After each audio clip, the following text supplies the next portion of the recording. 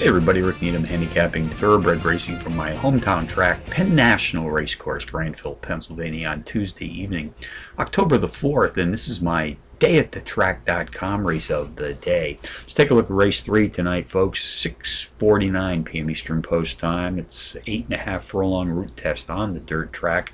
Three-year-olds and up uprates for an optional claiming purse of some thirty-four thousand dollars. Contenders number two, Mine Train. Number one, Indian Jones. Number three, Valerius. And number five, Quail Hollow. Number two, Mine Train takes a class drop of some 10 units, has turned in power run performances in five straight starts, hitting the board in the pair, including a power run win in his fifth race back. Jockey J.D. Acosta and trainer Chris Grove sent him to the post tonight. They've hit the board with an even 50% of more than 340 combined lifetime starts to date.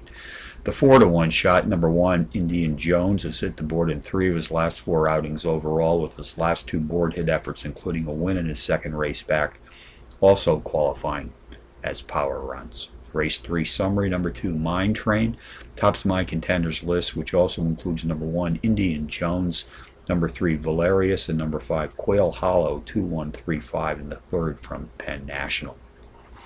Bonus long shots, let's go to Who's Your Daddy Park in Indiana, race 9, number 8, More Newton's Please, 8 to 1 in the morning line.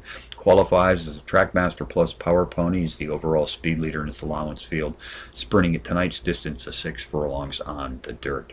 Finger Lakes Race Course, race 5, the 6 to 1 shot. Number 4, Helena's My Mom, a Trackmaster Plus Power Pony qualifier, takes a class drop of 8 units is the speed leader in his claiming field, racing at or about today's distance of a mile and 70 yards on the dirt.